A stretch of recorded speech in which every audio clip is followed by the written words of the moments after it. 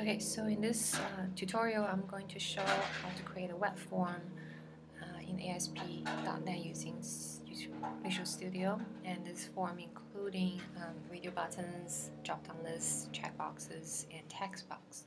So if the user enter the travel time and the continent from um, the drop-down list, the guidebook, which is a checkbox, and temperature, from Fahrenheit um, to, to be converted to Celsius. Click submit button and the message will be showing so thank you for submitting. You plan to travel in the summer to Antarctica using the Lonely Planet and DK guide and temperature in Fahrenheit 5 Fahrenheit is negative 15 Celsius. So that's the form we're trying to create. So we create a new empty uh, website in Visual Studio and um, we highlight the project name and right click add new item so we're going to add a new web form. Its name is travel form and add. So some code already automatically generated for you in the design view and your mouse cursor should be within the borders here that shows that in the source code you're building something inside this form. So now on the left side in Visual Studio there's toolbox, uh, lots of form controls you can drag and drop. So first let's uh, give it a title and now let's give it a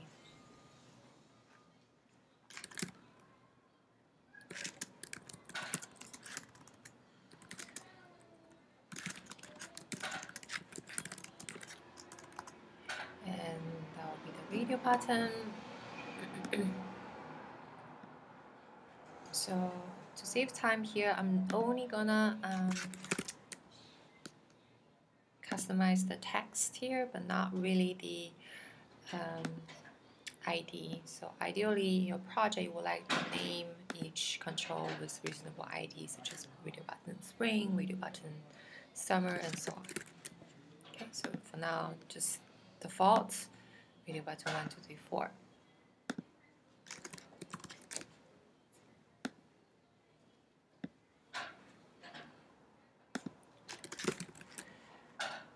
So it's not done yet because all these um, radio buttons are separated and so we want to put them into the same group so the user can only um, connect, uh, select one button at one time. So this is the effect of radio buttons. Uh, so the group name should be the same for all four of them. Let's call it the season. So same with this one. Same with.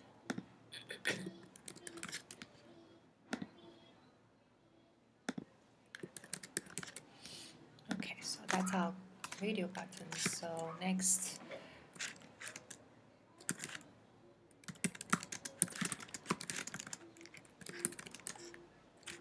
continent, drop box, drop down list.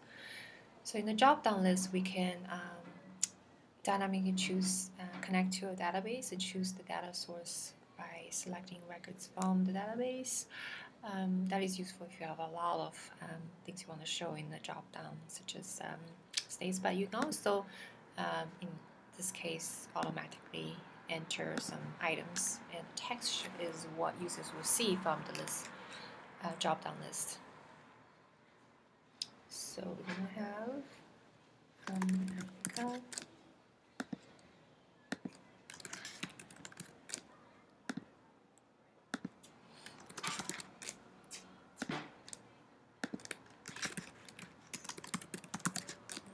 Could have space inside too.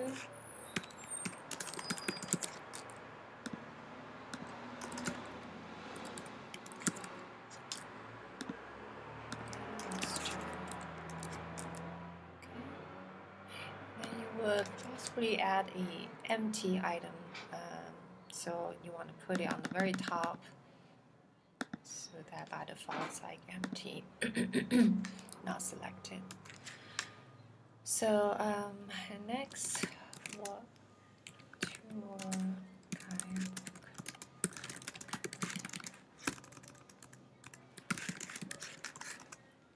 So here we use the checkbox, Lonely Planet.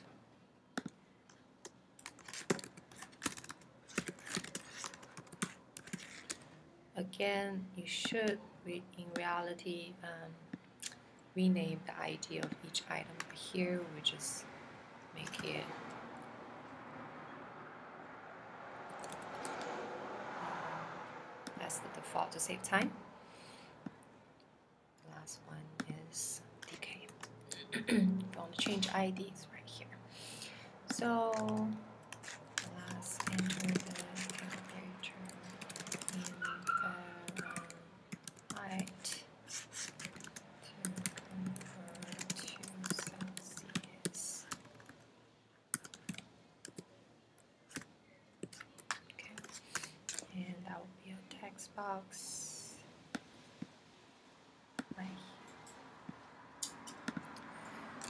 we're gonna need a submit button. We want to change the text to. Okay, so our interface is um, kind of done. And um, double click on the submit button. We are taken to the code behind, which is aspx.vb. And here we need a few uh, declarations variables. First of all, the message uh, string that we want to ultimately display. And for that, we're going to need a actual label to show the dynamic message later. So the label goes over here. We don't want to initially show any text. Okay, and so back in here, uh, message is string, and then we're to need some variable to hold values. Okay. Content. And we also have um, book. And then we have um, Fahrenheit.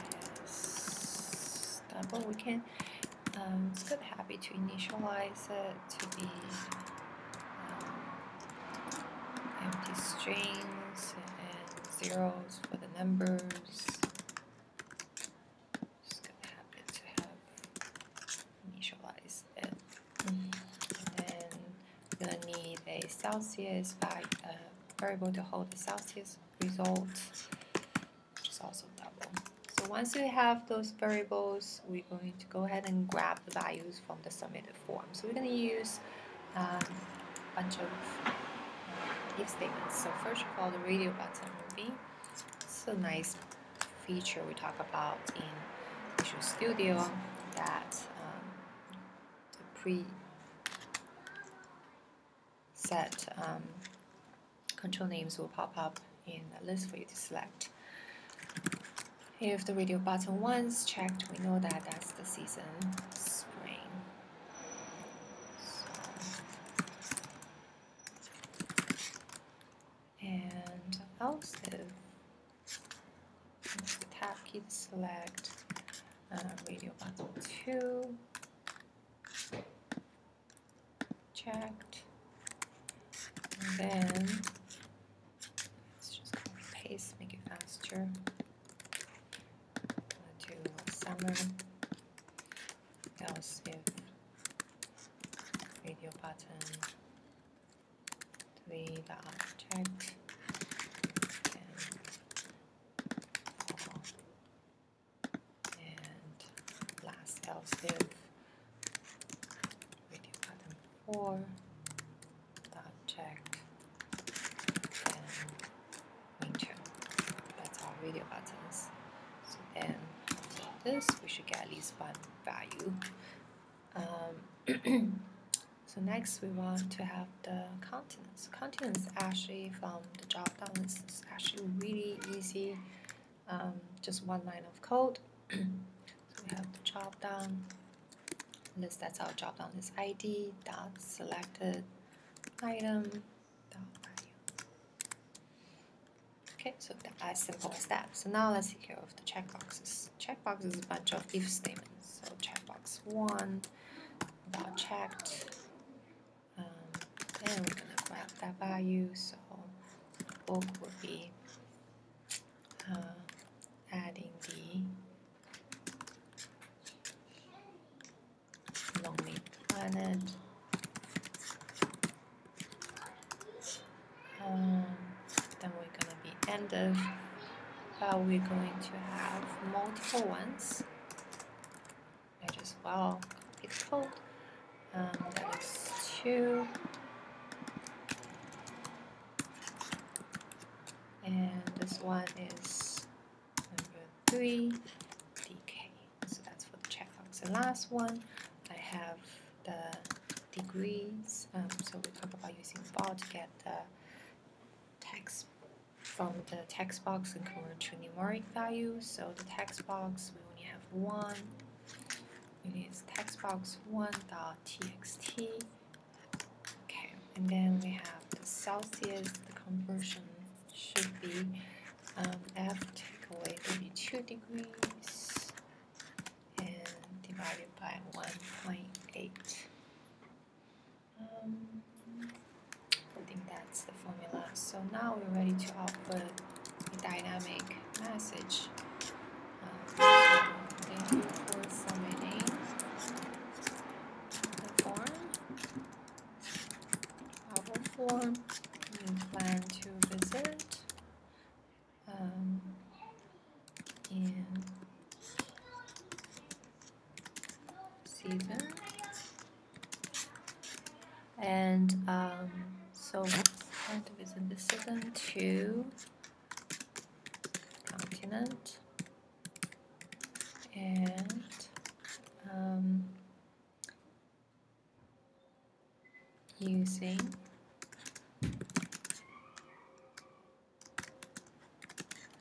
um, book.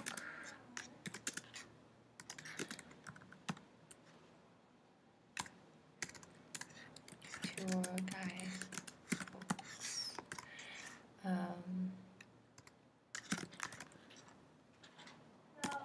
the temperature.